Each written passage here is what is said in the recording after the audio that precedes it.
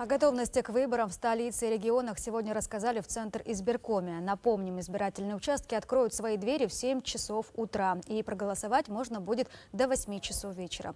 Для жителей с ограниченными возможностями организуют работу инвотакси и сурдопереводчиков. Вместе с тем, выборы в Маслихаты впервые будут проходить по партийным спискам. Отметили в ЦИК и напомнили о правилах для наблюдателей за выборами. А также предупредили об ответственности за нарушение действующего законодательства и возможном лишении аккредитации.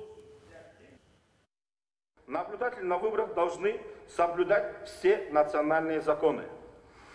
Никогда не препятствовать осуществлению процесса выборов, не вмешиваться в избирательный процесс и должны быть беспристрастными.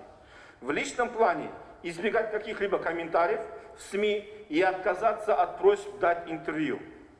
С уважением относиться ко всем участникам избирательного процесса на выборах всегда, в том числе и во время отдыха, вести себя профессионально и безупречно.